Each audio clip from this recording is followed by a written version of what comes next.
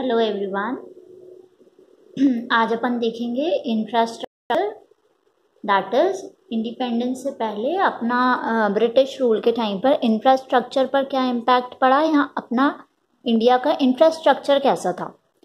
तो देखो the infrastructure facilities during British rule were very poor some efforts were made to develop basic infrastructure like road railways ports water transport post and telegraphs.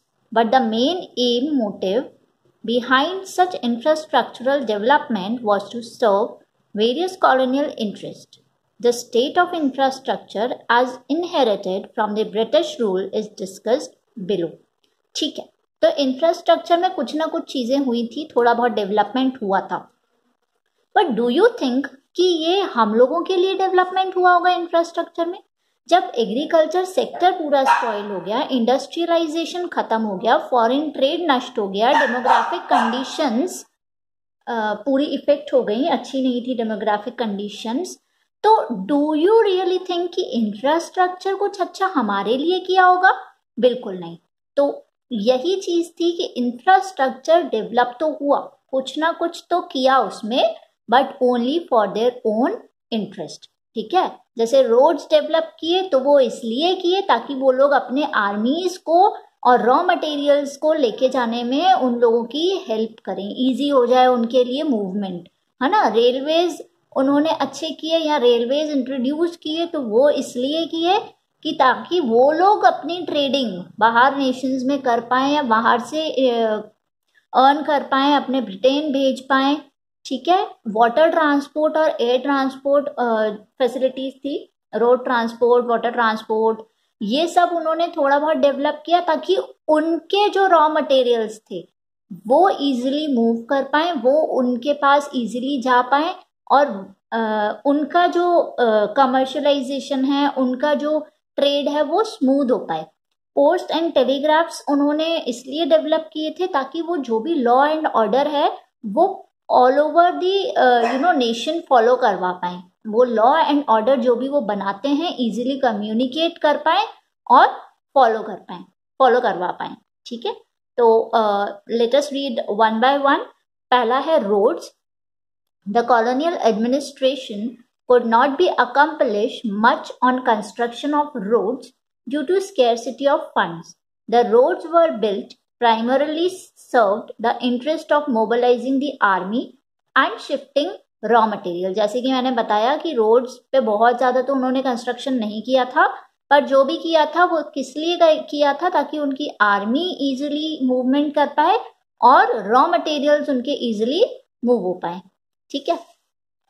इसके बाद बात आती है there always remain acute shortage of weather acute shortage of all weather roads to reach out rural areas during the rainy season. As a result, people living in these areas suffered badly during natural calamities and famines. अपने मतलब के लिए जो उन्होंने roads develop किए वो कर दिए पर दो रोड्स एक विलेज से दूसरे विलेज को कनेक्ट करते थे या रूरल एरियाज़ को बेसिकली कनेक्ट करते थे जो कच्चे रोड थे वो अभी भी वैसे के वैसे ही थे तो लोग जब बारिश होती थी, जब फेमाइंस होते थे तो उस टाइम पर it use to create huge problem for them to move from one place to another लोगों के लिए, उनके लिए नहीं, ठीक है? सेकेंड पॉइंट था railways the most important contribution of the British rule was to introduce railways in India in eighteen fifty the railway affected the structure of Indian economy in two important ways first Railway enabled people to undertake long distance travel, broke geographical and cultural barriers and promoted the national integration. ठीक है railways के through कहीं ना कहीं लोगों का movement easy हो गया जियोग्राफिकल और कल्चरल बैरियर्स खत्म हो गए लोग इजीली यहाँ से वहाँ जा सकते थे it enhanced commercialization of Indian agriculture sufficiency of the village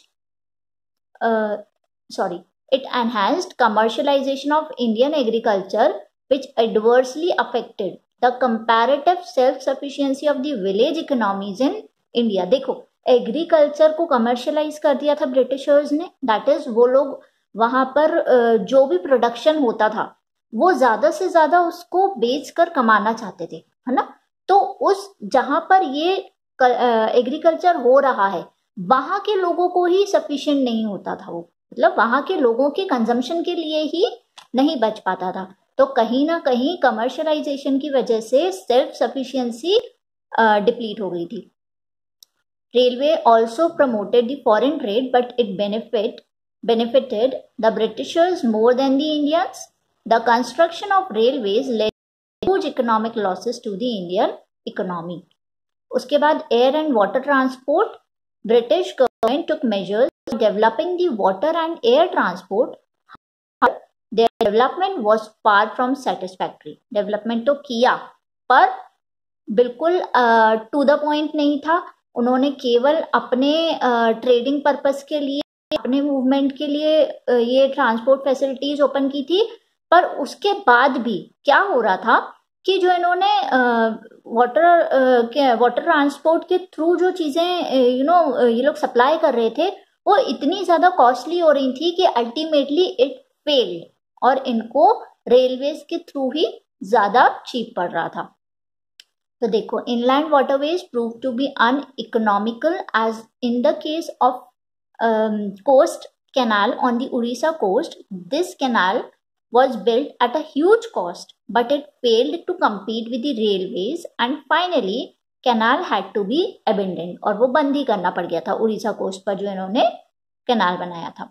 ठीक है? उसके बाद बात आती है कम्युनिकेशन की। Post and telegraphs were the most popular means of communication the introduction of expensive system of electrical telegraph in India serve the purpose of maintaining law and order telegraph electrical telegraphs के through वो लोग जो भी law and order pass करते थे वो उसको communicate करते थे। The postal services despite serving a use public purpose remained all through inadequate postal services जो थी इनकी वो पब्लिक के लिए थी बट इतना ज़्यादा वो भी अबेंडेंट uh, नहीं थी। बहुत ज़्यादा एडिक्वेट नहीं थी कि हर कोई उसको यूज़ कर पाए। ठीक है? उसके बाद है रीजंस फॉर इंफ्रास्ट्रक्चरल डेवलपमेंट तो कहीं ना कहीं यही पॉइंट्स रिपीट हुए just have a rough reading for this next will come to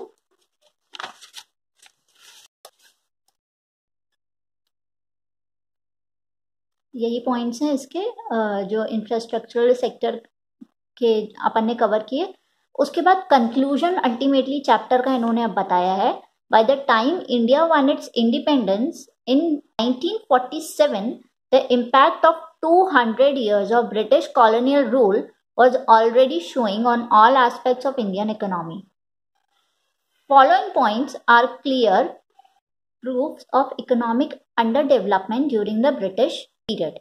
क्यों इकोनॉमी अंडर डेवलप्ड हुई थी उसके जो भी हमने रीजंस अभी तक कवर किए उसको ही उन्होंने वापस बताया है। क्या क्या रीजन रहे अंडर डेवलपमेंट के constant per capita income over a long period of time per capita income नहीं बढ़ी थी। Increasing dependence on population of population agriculture agriculture पर ज़्यादा लोग डिपेंडेंट थे और जो लॉ ऑफ़ वेरिएबल प्रपोर्शन होता है, वो बोलता है कि एक फिक्स्ड फैक्टर पर जब जो नंबर ऑफ़ वेरिएबल फैक्टर्स हैं, वो टू द एक्सटेंट ही आपको प्रोडक्टिविटी देते हैं, उसके बाद नेगेटिव रिटर्न्स देते हैं राइट right? तो बहुत ज़्यादा ओवर डिपेंडेंस था एग्रीकल्चर के ऊपर तो इंडिया की इकोनॉमी ग्रो नहीं कर रही थी। जमींदारी सिस्टम अगेन लगान बहुत ज़्यादा थी, जो भी उनका एग्रीकल्चर प्रोड्यूस हुआ करता था that use to go in लगान only traditional methods of cultivation advancement नहीं था टेक्नोलॉजी नहीं थी इरिगेशन फैसिलिटीज़ नहीं थी। हाई फ्रीक्वेंसी ऑफ़ फेमाइंस बहुत ज़्यादा होते थे। डिस्ट्रक्शंस ऑफ़ इंडियन हैंडीक्राफ्ट पूरी हैंडीक्राफ्ट इंडस्ट्री डिक्लाइन हो चुकी थी। बहुत बुरी तरह इफ़ेक्ट हुआ था। इन एडिक्वेट इंडस्ट्रियलाइजेशन ये सारे फैक्टर्स थे जिनने मिलाकर इंडिया की इकोनॉमी को बर्बाद कर दिया था। ठीक है?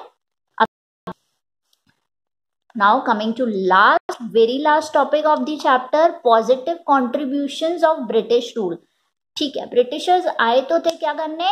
बर्बाद करने। पर कुछ कुछ चीज़ें ऐसी गलती से कर गए कि उसका पॉजिटिव इम्पैक्ट इंडिया को मिला।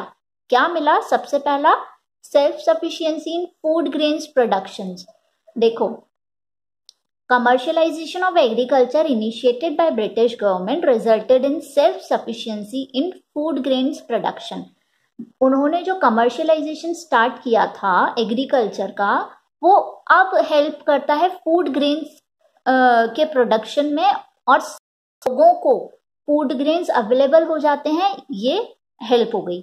Better means of transportation transportation उन्होंने जो रेलवेज वगैरह प्रोवाइड किए थे, वो कहीं ना कहीं अब हम लोगों के बहुत काम आते हैं। चेक ऑन फेमाइंस जो रोड्स और रेलवेज उन्होंने डेवलप किए थे। वो अब हमें हेल्प आते हैं क्या करने में? एक तो फ़ूड सप्लाई करने में जब भी फेमाइन होता है, जब भी कोई ऐसे नेचुरल क्लैमिटीज होती हैं तो we what we usually do is कि एक जगह से दूसरी जगह फ़ूड सप्लाई करते हैं नेसेसरीज जो भी चीज़ें एसेंशियल्स होती हैं, वो सप्लाई करते हैं तो that was a good thing develop for us shift to monetary economy उनके बहुत सारी चीज़ों की वजह से बाटर सिस्टम था पहले बाटर सिस्टम वॉज़ अगर आपको कोई चीज़ चाहिए तो उसके बदले गुड्स के बदले आप गुड्स एक्सचेंज करते थे। तो वो बहुत uh, मुश्किल होता था मिलना कि आपको चाहिए उसके बदले आपको वो मिल जाए जो आपके पास देने को है है ना? तो वो सेम को इंसिडेंस ऑफ़ वॉन्ट वगैरह वाली चीज़ें बहुत मिसिंग थी। तो ये सब सिस्टम खत्म हो गया था मॉनेटरी इकोनॉमी आ गई थी एंड इफ़ेक्टिव एडमिनिस्ट्रेटिव सेटअप ठीक है? उन, उन्होंने जो एडमिनिस्ट्रेशन सेटअप किया था कंट्रोल करने के लिए तो वो सब कहीं ना कहीं ब्रिटिशर्स यूज़ करते हैं। उनको एक आइडिया हो गया कि कैसे एडमिनिस्टर करना है, ठीक है? उसके बाद state of Indian economy on the eve of independence ठीक है? अब ये बात आती है कि अब फाइनली हमारी इंडियन थी कैसे? जब जिस दिन हमको इंडिपेंडेंस मिल रही थी, उस दिन इंडिया की इकोनॉमी कैसी थी?